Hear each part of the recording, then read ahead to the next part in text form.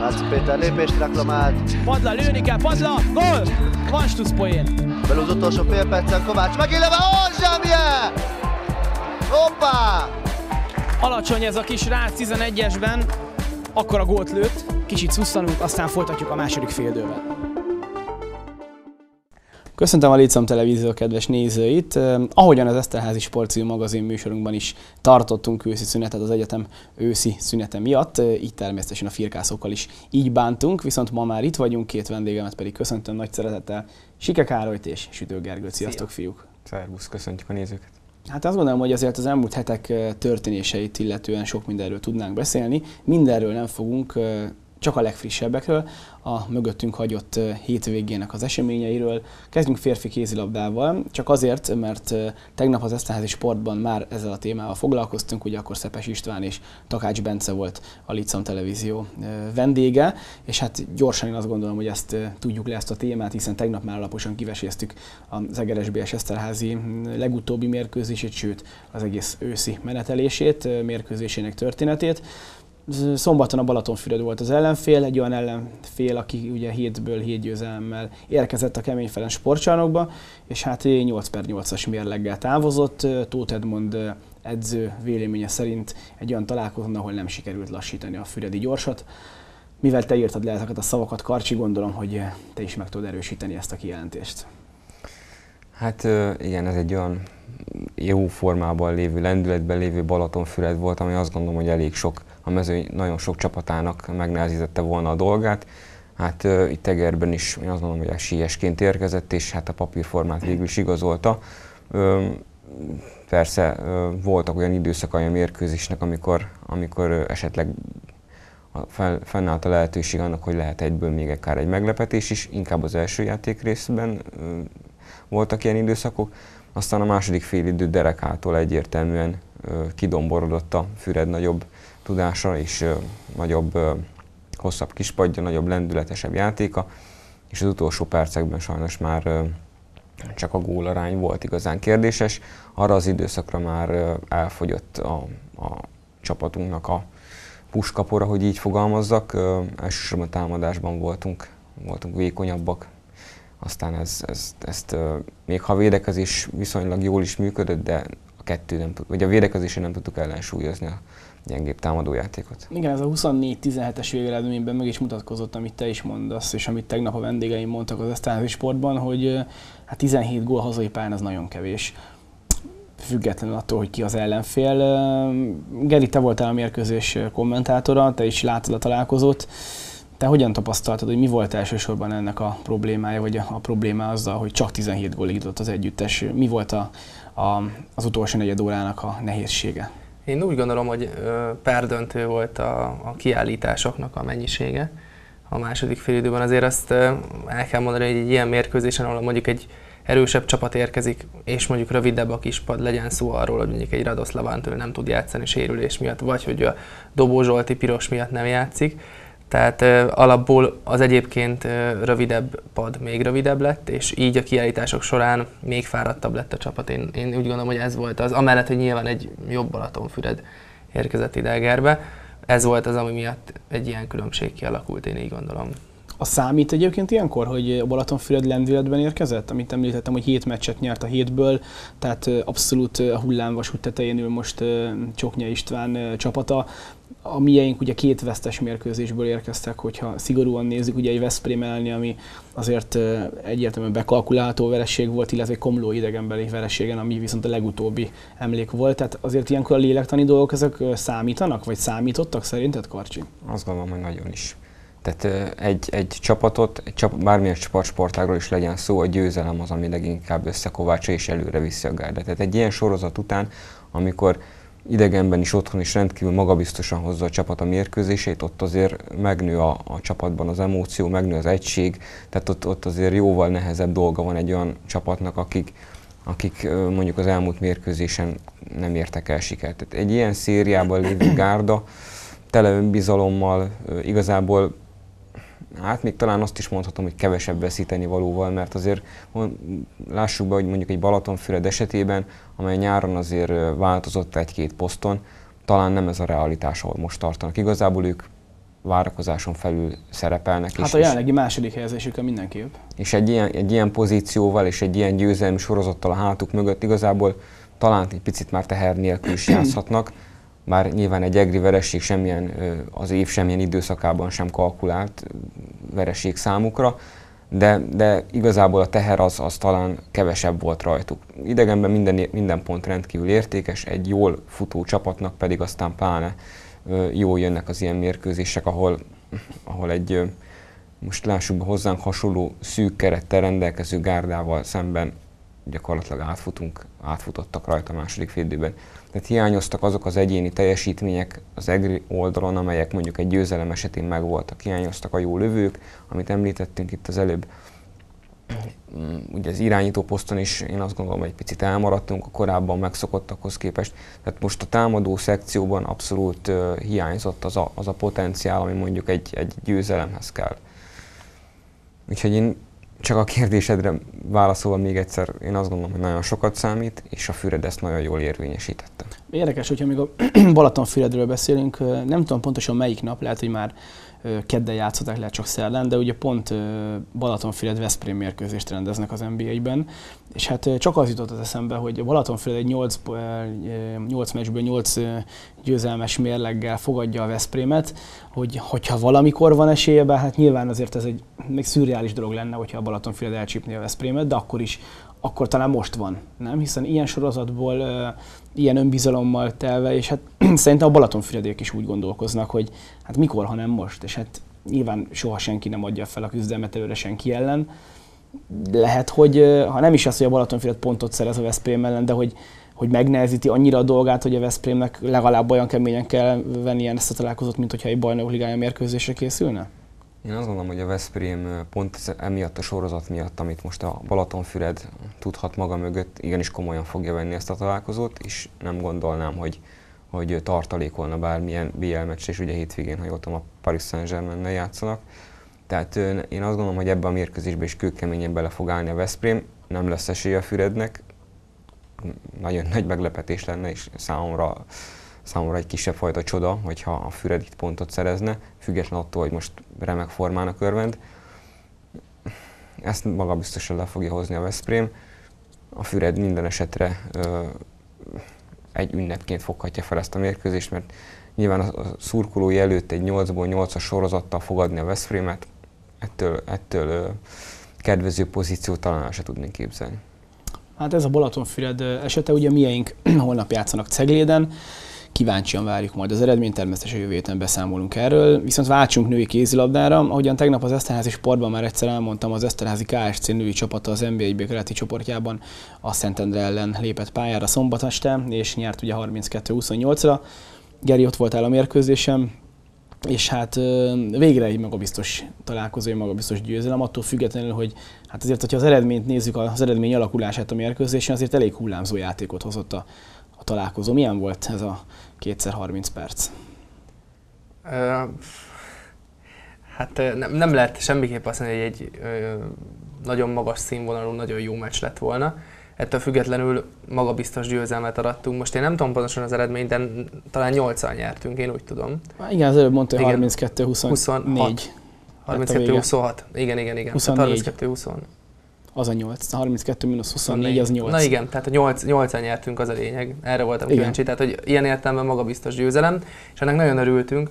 Ezt lehetett látni a, a szurkolók ö, szempontjából, és hát a lányoknak is ö, azért ez egy fontos volt, hogy újra itthon sikerül magabiztosan nyerni, és, és Debre Viktor is ö, azt mondta, a mérkőzés után és előtt is beszélgettünk erről. Én kíváncsi voltam, arra kérdeztem Rutka Petit is, hogy, hogy van egy Szent István elleni hazai nagy zakó, aztán jön egy, jön egy idegenbeli győzelem, ami, ami kiélezett csata. Nem számítottunk ennyire kiélezett csatára, de mégis talán motivációban az, hogy egyel a végén sikerül nyerni, az lehet, hogy egy picit úgy fel tudja tüzelni a lányokat. Úgyhogy visszatérve erre a mérkőzésre, voltak kiemelkedő teljesítmények a csapatból, akik húzták bizonyos periódusokban a csapatot. Azt gondolom, hogy Györfi Szandi megint remekül védett a mérkőzésen, és, és a Sári Barbi 9 gólja, vagy a Hans Wickel Zsanetnek az az 5 gólja mindig akkor jött pont, amikor nagyon nagy szükség volt rá. Úgyhogy szerintem egy jó magabiztos győzelem volt, kevésbé jó meccsen az a lényeg, hogy, hogy folytatják a lányok ezt a most már újra jó szereplést. Egy hátsóval egy lovat lehet megülni, és hát azért múlt egy szombaton három egész sporteseményt is 18 órakor kezdtek. Ugye mind a két kézilabda volt egy Eger Miskolc OB1-es férfi labda meccs, volt itthon rally, volt itthon megye egyes foci, tehát hát jól egymásra lettek szervezve a dolgok. Karcsite férfi kézilabda meccsen volt, és általában ott is vagy, és ezt csak azért kérdezem most tőled a női kézilabda vonatkoztatásban így a kérdést, hogy, hogy idén nem sokszor láttad még a lányokat, viszont ha a tabellát nézed és az eredményeket, az, hogy van egy Kispest 14 ponttal az első helyen, és a második, harmadik, negyedik, ötödik helyezetnek egyaránt 12 pontja van, a hatodik Szeged KKS-nek pedig 10, tehát az első hat négy pontra van egymást, az első öt kettő pontra, és a, a harmadik, negyedik, ötödik helyezett, az Eger ugye jelen pillanatban az ötödik, az úgy rendelkezik ugyanúgy 12-12 egységgel, hogy még plusz 35-ös ráadásul mind a három csapatnak a gólkülönbsége. Szóval lehet ennél szorosabb bajnokságról beszélni? Nyolc fordulóval a rajtot követően? Pont a, itt a mérkőzés után, a vasárnap délutáni böngészések közepette figyeltem a tabellát, aztán pont hasonló gondolatok jutottak eszembe, hogy, hogy gyakorlatilag én régen emlékszem, rég nem történt hasonló emlékeim szerint, hogy ennyire szoros és kiegyenlített lett volna a másodosztály küzdelem sorozata. Tényleg az előzetes esélylatolgatásoknak megfelelően ugye megvannak azok a csapatok, akikről még most is azt mondjuk, hogy, hogy ott lehetnek, de azért van két, három, négy olyan csapat, amelyek viszont eddig erőn felül teljesítenek, és azt gondolom, hogy, hogy ez a kiegyenlítettség talán ebből fakadhat, és ahogy említettél, gyakorlatilag a tabella első fele 3-4 ponton belül van. Tehát innentől kezdve óriási értéke van egy-egy hazai mérkőzésnek és egy-egy mondjuk rangadón szerzett pontnak, akikről mondjuk azt gondoljuk, hogy majd a későbbiekben is ott lesznek az elején. Tehát egy rendkívül szoros és kiegyenlített bajnokságra van kilátás itt, itt óriási küzdelem lesz a dobogóért. Mm, talán térre majd egy picit tisztul a kép, de én akkor is azt mondom, hogy, hogy tehát egy ilyen, egy ilyen 6-7 mérkőzés után nagyon nehéz bármit is, vagy bárkit is esélyesként, vagy, vagy kevésbé esélyesként emlegetni, mert nagyon együtt van a mezőny. Igen, és hát az is érdekes, hogy szezon elején ki ne jelentettük, hogy kik azok a csapatok, akik talán joggal pályáznak a bajnoki címre, egy Kispest, egy Szeged KKS, ugye akkor még annyira nem a Szent István, de egyértelműen ők is benne vannak ebben a pakliban. Hát érdekes, hogy a Kispesten még nem játszottak a mieink, majd december másodikán fognak a fővárosban, viszont ugye a Szent Istvántól és Szeged KKS-től egyértelmű vereséget könyvelhettek el.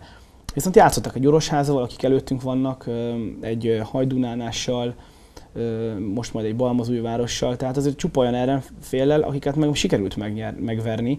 És hát tényleg ebből kiindulva, hogy mennyire szeszélyes az idei bajnokság, hát ez a Szent István, ami két hete 30-21-re nyert itt Egerben, most kikapott 24-23-ra a, mindig a bennmaradásért küzdő Nyiradony ellenében. Tehát, hogy, hogy ilyen eredmények vannak. Talán aki egyelőre kilóg, és nem véletlenül vezeti a bajnokságot, a Kispest, amely eddig ugye hozta a mérkőzését egytől eltekintve a Szent István elleni találkozott. De hát aki emlékszik a két évvel ezelőtti bajnokságban, ahol ugye Kisvárda, Kispesteg lett a sorrend a szezon végén, ugye annak a szezonnak a végén, ahol az utolsó fordulóig vezettük a bajnokságot, akkor ott ugye a Kispest csapata oda-vissza kikapott a Szent Istvántól. Tehát úgy tűnik, hogy, hogy a fővárosiak a Szent István egyfajta mumus a Kispestnek. Tehát, hogyha ebből kiindulunk, és az, hogy még összesen öt mérkőzés van hátra, nem bocsánat, négy mérkőzés van hátra, nem, jól mondom, öt mérkőzés van hátra az őszből. Sorrendben ugye most vasárnap Hajdunánás idegenben, aztán lesz egy mérkőzés a Gyömrővel, lesz egy mérkőzés a Kispesttel. Balmazújvárosra megyünk. Hajdunánás. Hajdunánás, nem tudom miért keverem őket. Tehát Balmazújváros vasárnap, lesz egy Gyömrő mérkőzés, lesz egy Kispest mérkőzés, lesz egy Nyiradony mérkőzés, és még egy alsóbb osztályú csapat ellen lesz. Tehát, ha jól emlékszem, akkor itt a, egyértelműen a Balmazújváros és a Kispest, ami, ami kiemelkedik. Bár lehet azt mondani, hogy egy nyiladony mérkőzés ezek után, hogy egyértelmű egy győzelmet hozhat? Semmire nem lehet azt mondani.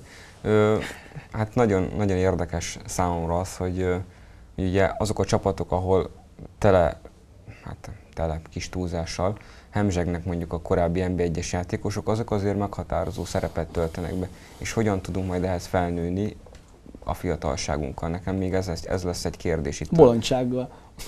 Legyen így. Mindegy, hogy milyen módszerrel, csak jussunk oda az elejére. Tehát ez, ez az, ami még számomra ö, tartogat egy-két kérdést, vagy felvet egy-két kérdést itt az előző, vagy az előttünk álló mérkőzésekre vonatkozóan, hogy hogy ezt a szerepet, ezt mennyire tudjuk az előnyünkre fordítani. Hát én azt gondolom, hogy ha itt vasárnap jól sül el ez a mm, Balmazújvárosi mérkőzés, és nagy Isten, hogy a Kispestől vereséget szenvedünk, de azt a további három meccset lehozzuk, akkor, akkor azért az biztos, hogy ott vagyunk az élbolyban, hiszen akkor legrosszabb esetben a, a Kispest mögött négy ponttal vagyunk, hogyha ők minden meccsüket hozzák, de hát amint lehet látni, hogy folyamatosan verik körbe egymást a csapatok. Most hétvégén ugye az egy dolog, hogy ennyire hogy megvert a Kispestet, de például az Orosháza a Szeged KKS egy győzte le, és a Szegednek ez most már a harmadik veresége volt a szezonban, a nyolc meccsből, szóval tényleg kiszámíthatatlan, hiszen nagyon együtt van a mezőnyeleje és ezt nem véletlenül mondtam, hiszen a Magyar Kézilabda Szövetség törekvései szerint a következő években folyamatosan csökkentik majd az NBA 1 és létszámot, míg nem egy csoportán nem fog olvadni az egész. Hát gondoljunk bele, hogy még nyugatról idejön 4-5 ilyen hasonló ütőképes csapat, és itt van ez a 7-8 a keleti csapatból, csoportból. Hát elég brutális másodosztályú szezonra van majd kilátás egy olyan két-három pontosan nem tudom most a dátumot, hogy mikor, mikortól lesz egy osztályos a másodosztály, de hát ez csak a magyar kézilabdának a, az érdekét fogja képviselni, nem? Mondjuk az nem, hogy azért jön erős az NB1B, mert egy csomó volt NB1-es játékos azért van itt, mert olcsóbbak a külföldi légiósok az NB1-ben, de ez már megint egy másik beszélgetést igényelne. Hát bízunk benne, hogy azért ez a fajta törekvés ez majd segíti a magyar játékosok még inkább érvényesülését, és talán az első osztályban is több magyar fiatal kaphat lehetőséget. Mindenféleképpen talán azt gondolom, hogy ennek a törekvésnek az egyik fő célja az ez.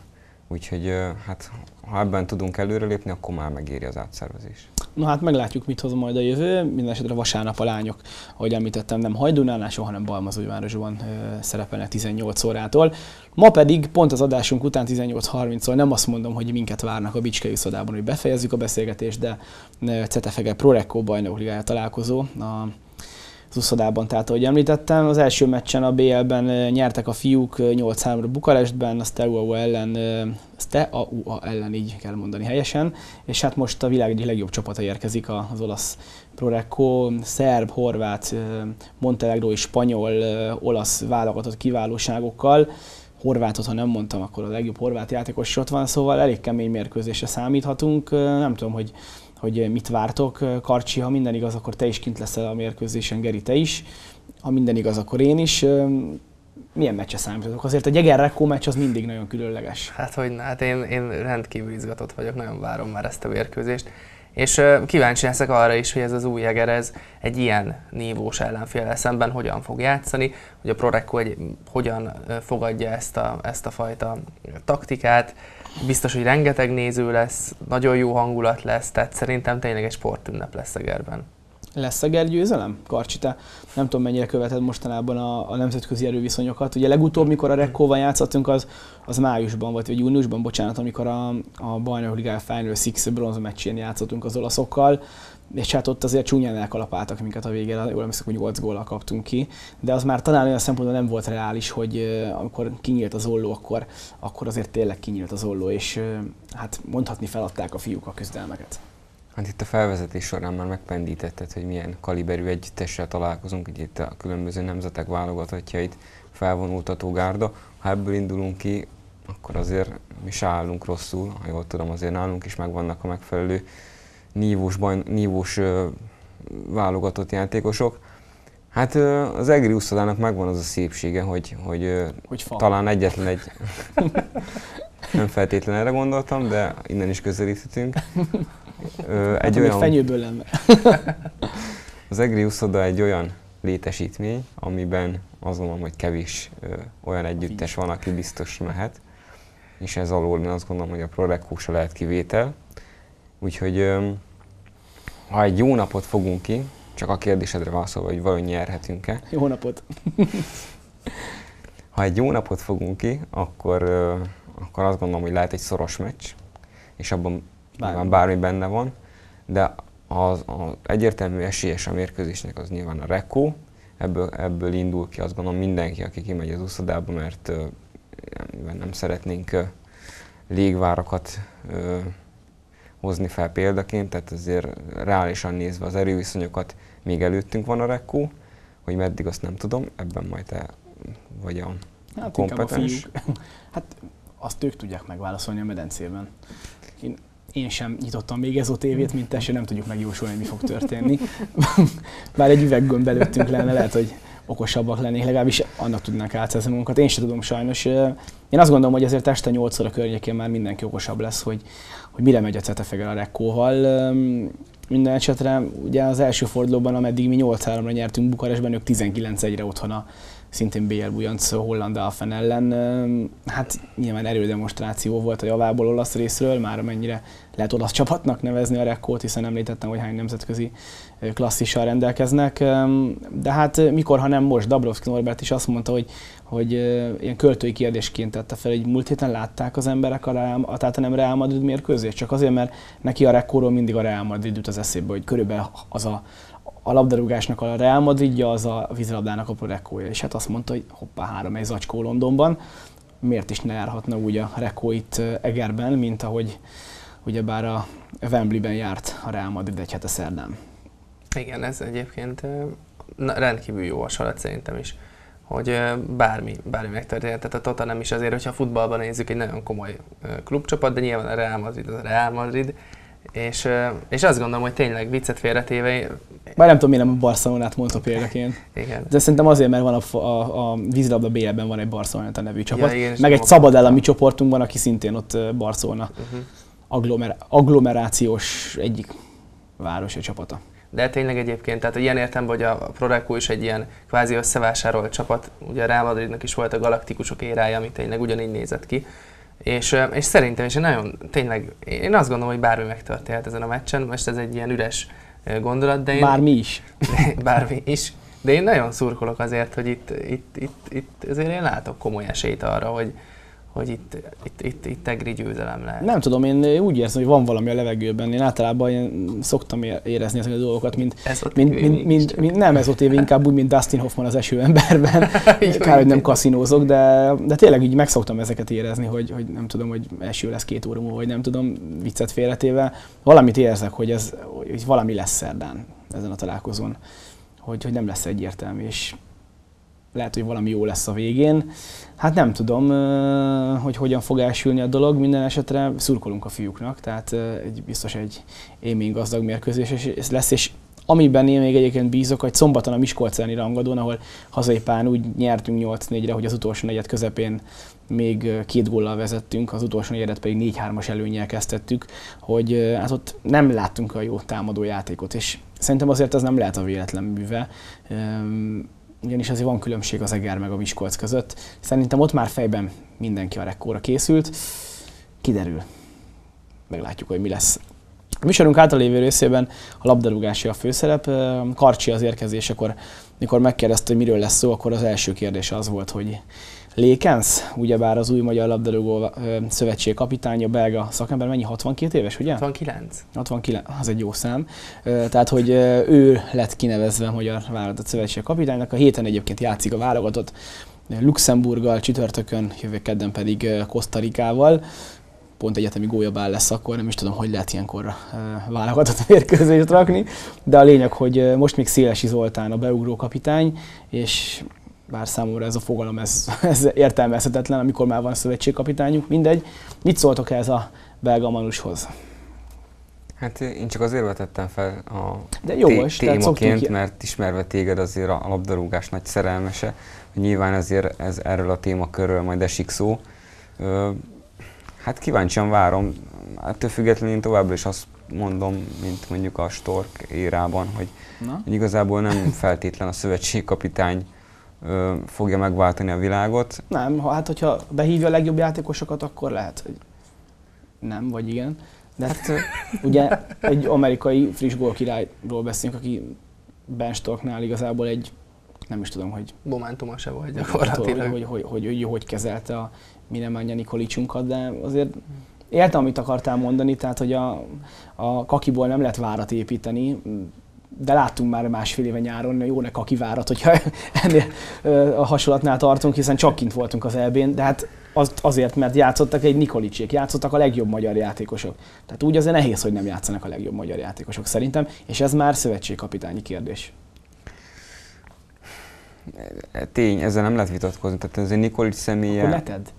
Tessék? Akkor ne tedd. Nem, nem is akarok. Jó, tudom. Csak megerősíteném, hogy tehát ez a Nikolic személye azért tényleg, ha, ha azt nézzük, hogy tényleg nem is az első országban, tehát is Igen, idézőjelben mert azt mondom, sorozatban szállítja a Ugye a gólokat. Gyugyák az araboknál mondjuk Amerikában, lő gólkirály. 30 gólt. Akkor azt mondhatjuk, hogy hát jó, igen, Gyugy, de, de De nem rúg. gyakorlatilag egy olyan, egyetlen egy olyan nemzetközileg elismert játékosunk van most, aki tényleg azt mondjuk, hogy, hogy nemzetközi szinten egy igen elismert játékos. És pont őt nem játszhatjuk. És akkor én értettem azt, hogy mondta, hogy hát, hogy igen, mert a, nem ilyen volt a játékrendszerünk. De hát, hogyha egy futballistánk van, akkor építsük már rá a fenébe, nem? Igen. Hát meglátjuk, én azt gondolom, hogy ö, Amerika nagyon messze van, és nyilván az is egy nagyon fontos, az is egy nagyon fontos érv Hiába. volt, hogy, hogy ugye a, a több órás repülőt is az idő, át, idő eltolódás Ez már, miatt. ez már az izé mismásolás volt akkor. Rizsa volt. Tehát, hogyha itt azt akarjuk, hogy Nikolic Nikolic Bergkamp nem tudott repülni, pont, hát nem, nyilván, mert egy ember sem tud repülni. Jó, De legyen egy Nikolicsunk, lesz egy játékosunk, aki mondjuk a gólkirály több országban is, még egyáltalán nem garancia arra, hogy itt, itt fellendülés lesz. Tehát én egy fecske nem Egyértelmű, csinál nyarat, csak azt egy mondom, kapitány nem. Tehát a- én egy- egy, egy- sokkal globálisabban nézem ezt a dolgot.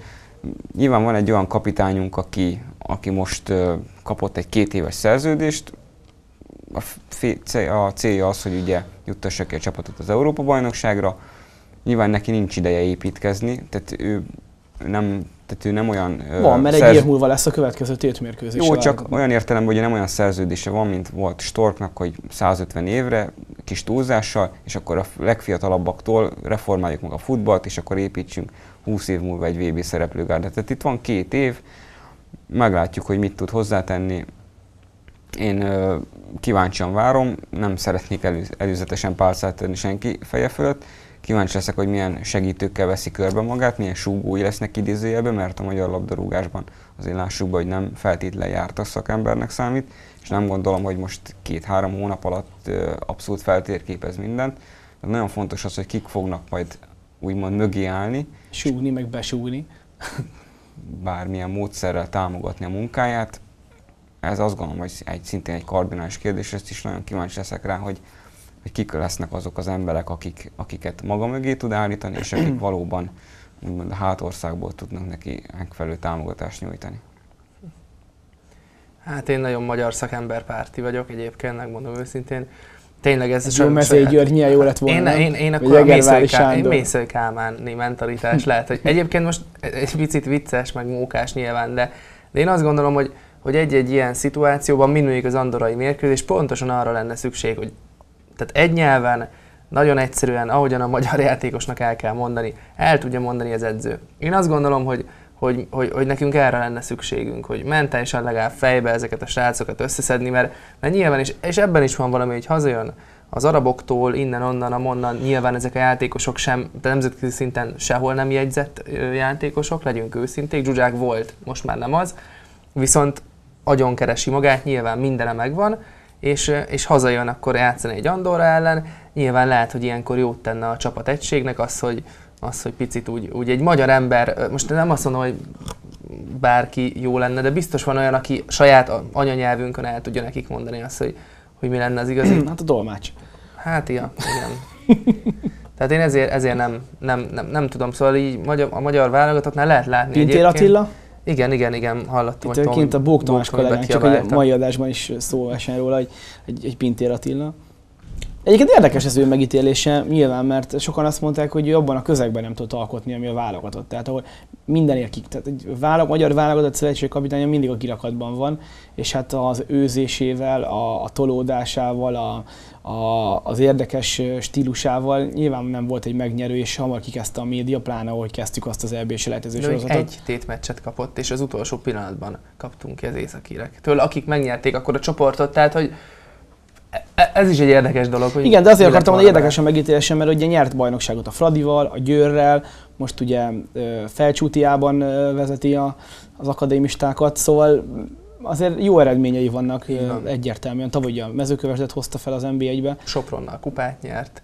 Tehát igen, ez Igen. érdekes dolog. Hát Bók Tamás kollégánk most lehet, hogy el is érzékenyült halva itt Pintér Attila magasztalását, majdnem egy másik manapság divatosabb szót használtam erre. Viszont még egy utolsó téma, hiszen mindjárt befejeződik az adásunk. Csak azért, mert az elmúlt három és fél évben rengeteget csatáztunk itt a kamerák előtt is, főleg én, szegény Karcsi pedig nyelt nagyokat, hogy amikor lapozunk már, a Fradi szurkolótáborátról, amely most ugye szombaton a Debrecen elleni magyar NB1-es mérkőzésen visszatért a Grupa Marinába, sőt először volt ott, hogyha így tetszik, és hát pokoli hangulat volt, és én azt mondom, hogy a legtöbb médium ugye arra a időben történt incidensről szólt, ahol ugye történt verekedés, kieselés, stb. Én azt mondom, hogy ezt majd a a felelősök ki fogják tárgyalni. Én azt gondolom, hogy arról beszéljünk, és pontosan ez a lényeg, hogy ne 50 embernek a, a balhiáról szóljon 20 ezer ember által teremtett jó hangulatú mérkőzés, hiszen közel 20 ezeren voltak a Grupa Marinában, nem is tudom mikor voltak utána ennyien magyar bajnoki mérkőzésen. Aki tévében látta, akkor ott láthatta, aki a helyszínen, hát több ilyen hangulatú mérkőzés kellene a magyar focinak, azt gondolom, és egyébként akkor még jobban eladhatóbb lenne ez a mi kis sárga, savanyú citromos magyar labdarúgásunk, még akkor is, hogyha egyébként egy pocsék mérkőzést játszott a két csapat egymással. Hát igen, nagyon sokat lendít, és én láttam a tévében, az első fél időt figyelemmel követtem, aztán sajnos útnak kellett indulnom. Úgyhogy hát valóban teljesen más egy így, így megélni egy labdarúgó mérkőzés, mint úgy, hogy a kamera köröz, és embert elvétve látunk a stadionban. Szóval hát nagyon sokszor elhangzott már, illetve nagyon sok fórumon szó esett arról, hogy ugye a játék a borsát a gól határozza meg, és a néző szórakoztatása a lényeg. Tehát ha, ha egy ilyen mérkőzés, egyébként most bennem volt egy kérdés, hogy te mennyire érzed azt, hogy mondjuk en, ezeknek a nézőknek a többsége az csak azért ment ki, hogy érezze azt a hangulatot, amit mondjuk a korábbi időszakban megtapasztaltak a Fradi meccsen. Tehát bennem volt egy ilyen kérdés, hogy, hogy vajon ennek a 19 ezer embernek a nem tudom, 10% a 20%-a a tábor? Nem tudom, 2000 2000 volt a kapu mögött, szóval azért az... 7000 ember, tehát hogy a maradék 11 ezer embert mennyire az a 7000 ember érdekelte, mint sem a meccs. Tehát maga a hangulat, maga az a körítés, amire ott számítani lehetett, én azt gondolom, hogy a többséget talán az inkább kicsalta, jó, nyilván nem a nem akarok senkit megbántani, milyen csapattal játszott a Fradi, mert ugye Debrecenről tudjuk, hogy most egy nagyon jó szériában van, egy igazi rangadó. Talán az NBA egy legjobb formájában lévő gárdaként emlegették itt még néhány hét a Debrecent. Most már mást. hogy, hogy mennyire érdekelt az embereket maga a, a Debrecen, illetve a játék, mint sem az a közeg, amiben mondjuk ott... Én azt gondolom, hogy a fradistákat általában soha nem az ellenfél érdekli, hanem a saját csapatuk, meg a közeg, a, a klub. És hogyha ezt nézzük, hogy három és fél éves ciklusnak sikerült most pontot tenni a végére, nyilvánvalóan a legtöbben azért mentek ki, hogy újra jó hangulat lesz. Tehát minden, okokozat, tehát az egyik a másikból következik, mindenki tudta, hogy lesz szurkoltábor, teltház lesz. Ha teltház lesz, jó hangulat lesz. Ha jó hangulat lesz, biztos jó meccset fogunk látni. Ha jó meccset fogunk látni, akkor reméltek győzelmet. Ez így gyakorlatilag sorba jött a jó meccs kivételével. Nyilvánvalóan a következő hónapok majd elmondják, eldöntik, hogy, hogy mennyire lesz ez tendenciózus, hogy ilyen sok néző jár a meccsre. Legközelebb a hazai, következő hazai mérkőzés a Fradinak december másodikán egy Fradi Videoton meccs. Én azt gondolom, hogy legalább ennyi ember lesz megint a stadionban. Egyébként minden egyet eladtak, szóval az, hogy nem volt teljesen tele, az azért volt, mert bérletesek vagy jegyen rendelkező szurkolók nem mentek ki a grupamába. És hát utána pedig a tavaszi első meccs. Tehát én azt gondolom, hogy azért most egy pár meccs biztos, hogy sok nézőt hoz. A szurkolótábor az egy állandó mag, tehát ott azért biztos, hogy sokan lesznek. Én azt gondolom, hogy most be lehet rendezkedni a Grupa Marénában e, alsó hangon minden mérkőzésen minimum 10 ezer emberrel. Aztán lesz, hogy ez a 20 ezeret közelíti, lesz, hogy csak a 10 de az biztos, hogy ez most egy jó ideig normális nézőszámban fog működni. Aztán, hogy mit hoz a jövő, hát magyar futballban ezt szerintem sose lehet tudni. Hát ezt a 10 ezer nézőt azt gondolom, hogy a az összes többi csapatnál ö, nagyon 26 ezer néző volt most a, a hétvégi fordulóban a hat mérkőzésen. 26 ezer, ebből 19.125 volt az üldői úton. El lehet gondolkozni. Jó, hát azért azt is hozzá kell tenni, hogy azért volt olyan csapat, amely nem az otthonában játszott, hanem igen. albérletben, tehát azért ez egy össze, ö, összetettebb dolog. Minden esetre a De tendencia... most már lassan befejeződnek a kórházi, akarom mondani, a stadionépítések. Freudi elszólás volt, nem véletlen egyébként. De hát a Diós Győrnek is már a székeket szerelik a stadionba, a haladás a következő zói meccsét az új stadionjába játszik, játsza, aztán fél múlva mennek az MB2-be, jelenállás szerint szerintem, de a lényeg az, hogy átadják a stadionokat, és hát remélhetőleg itt a Fradi tábor után más helyen is visszatérnek a nézők, a jó hangulat hát kiderül, hogy hogy lesz, viszont szerintem már így is túlléptük a műsoridőnket. Elnézést ezért, bízunk benne, hogy a Biskei szodában még nem dobták be az első labdát a ráúszásnál a Rekko meccsen, de most már nem is húzom akkor tovább a szót. Köszönöm fiúk, hogy itt voltatok, egy hét múlva találkozunk, és hát folytatjuk eszme futtatásainkat itt a firkászokban. Minden jót a viszontlátásra! Viszontlátásra! Viszontlátásra!